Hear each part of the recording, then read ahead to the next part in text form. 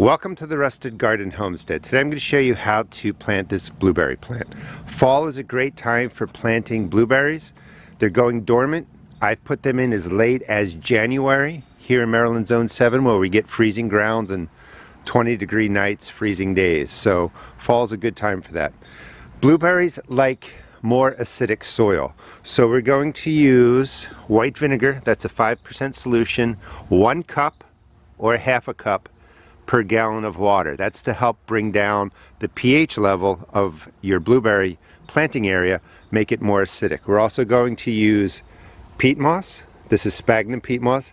It has a higher acidity. And we're going to use a water-soluble fertilizer at the end to water it in, to water in the plant. We're going to plant this one right here. That is more acidic. So you're really setting up the soil to be more acidic. Now that being said, I should say go and test your soil, see where the pH level is, but that's a pain in the butt for most people. This is not going to lower your pH so drastically that it causes problems and I'll show you how to do it not to affect the immediate root ball right there of the blueberry, blueberry plant. So what we're doing is just going to bring the pH down to a more acidic level. That's what the blueberry, yeah, I don't know why I can't say that. That's what the blueberry plants prefer. Now, these plants have been in here for three years. There's one right there, two, three, and four down there. They're not really thriving. I did not really focus on acidifying this area and taking care of it. Let me show you a space where I did that and then we'll come back and plant and I'll talk about ongoing care. This is my blueberry patch in my main garden. Bunch of plants down here. Now spacing wise real quick, you can do anywhere from three feet if you want a dense hedge like I do, this is a smaller space. I'm purposely putting them much more closely together, two or three feet. But if you want them to get to mature size, some of them will get really, really large like back there. You want four or five feet in between, just depends on how much space you have. But this is planted to be a dense planting of blueberry bushes. So they've been managed using the sphagnum peat moss, um, some of the white vinegar and the more acidic water-soluble fertilizer. And just look how beautiful they are. These are even beat up by the cicadas this year, and they're all coming back. But you can see that bringing the pH down a bit really benefits your blueberry plants. Now, that being said, you're not going to use these techniques to go from like a 7.5 pH, which is alkaline, all the way down to a 5.5. That's not just not going to happen with the way I'm showing you how to use this. This is just going to bring down the pH a bit, make the soil more acidic, maintain this area as a little bit more acidic over the years, and your blueberry plants will thrive. This is Willow. She's getting big. Just thought I'd give you a quick look at how she's been growing. Let's plant this one first, show you how to do that, and then I'll show you how to take care of the plants that are already established. So you're going to dig a hole deep enough to plant your plant level to where it is in the container, and maybe an inch circumference around there. That just fits in there nicely. Basic setup. All right, so the vinegar for a new plant, it is half a cup to a cup of 5% white vinegar in a gallon of water. And what I do first is just soak in the planting hole. And I'm just using the vinegar to make this more acidic, decrease the alkalinity, and just something like that. Typically I would let the water drain through. So the next thing that I'm going to do is I'm going to take a couple shovelfuls of the peat moss. See if I can do this one-handed. I think that I can. And I'm going to put a shovelful in there. Then I will mix it through, really loosen up the bottom. And then the rest of the soil is going to get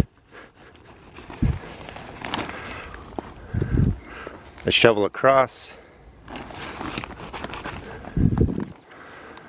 a shovel across. And that's going to set up this area for the planting. At the end, I will be using the acidic water-soluble fertilizer that's made for acidic loving plants. I mixed the peat moss through the bottom of the soil, couple inches, nice and loose, mixed it into there. Now when I was pulling this out of the pot, and this has never happened before, you know, 25 plus plants, I pulled too hard and I actually broke off the plant right there from part of the root system. Now it should be okay because it's the fall. That's when you want to plant these. You want to plant them when they're going dormant. They're not going to need a lot of moisture. Water them in at the end and then maybe once a week if your soil seems to be drying out. But they're pretty much good to go. I'm going to bury this a little bit deeper than I would. Typically the soil would just come right to here. I'm going to mound it up a little bit so this plant can maybe send out some more roots, take care of itself. But it's well anchored to another root right here. It should be okay. So the plant will be dropped in here. I'm going to shut the camera off real quick. I needed two hands because I don't want to damage that anymore. So you can see the space around there. That is, you know, enough space for the new root systems to easily penetrate into that looser soil, but they would be perfectly fine going into, you know, something directly against the soil. Don't over worry about that. You can kind of break up the root ball a little bit if you want, and then just backfill. Gonna fill up the hole well, pack it down, and take care of it that way. So we have the 5% white vinegar, the acidic water soluble and the peat moss that we use to set up the plant. So this plant's almost done. It's all been backfilled. Throw two shovelfuls of peat moss around the base of the plant or so. Whoop. Something like that. And then you're going to water it in. Just follow the water soluble instructions as written on the package going to clean off some of the peat on the leaves. And you're going to put one gallon all around the surface and that will set your plant up. And again, it's the fall. You know, water this maybe once a week. And that's all you do to get your blueberry plant well established for the spring. All right, let's go over to these. It's a little easier to see from this angle. So four plants, two or three shovelfuls of peat moss, spread around the plant. And then each plant's going to get one gallon of the vinegar, the white vinegar. So it's, I'm going to use one cup per gallon of water. This is the gallon. This is actually, you can see that it's blue. This is the remains of the acidic water soluble. Doesn't matter what order. But it's going to be one gallon of the white vinegar spread around here and then one gallon of the water soluble fertilizer fertilizer spread around there too. So it's getting two gallons of more acidic solution. And that's all you really need to do. These are already well established. You don't have to water them in. Peat moss right on top vinegar right on top everything right on top will acidify the soil. Because this is a new planting hole I wanted to put the vinegar in before because I don't know what the pH is of what was, you know, surrounding the roots in the pot. Maybe it was already acidic, I don't know. But I don't want to pour vinegar right into that root ball. So I poured it in on the soil first in a planting hole and then I added the plant. That's the difference. I just wanted to make that clear. Come spring, I would just give it the water soluble acidic fertilizer, a gallon or two each plant, really give it what it needs to grow and then let it go. Mid-season, somewhere around July, I give it that acidic water-soluble fertilizer again.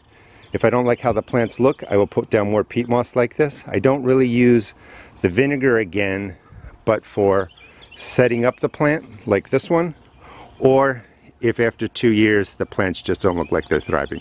Hope this helps. Definitely put your blueberries in in the fall. You want at least two different varieties for better pollination, better blueberry production. Thanks for watching. Please check out my seed shop at therustedgarden.com.